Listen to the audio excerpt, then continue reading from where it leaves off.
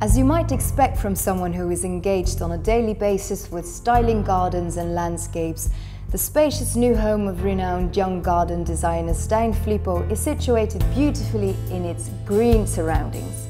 But not only around the house nature is beautifully reflected, also inside, especially in the elegant living areas on the ground floor, the focus is on natural elements and the very classy wooden floor that has been installed here, the Lalegno Relief Pinot Blanc, has an important role in this design.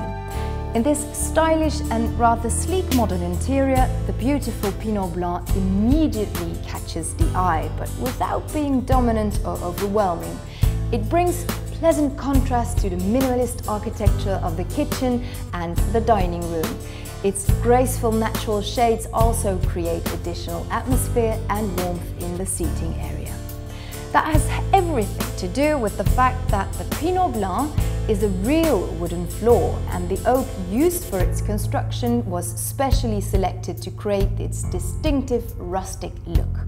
That means that well-shaped and nicely finished knots decorate the floor. For even more character, the floor was sandblasted that process always delivers exceptional results because it ensures that grain in the wood is highlighted in a sublime way.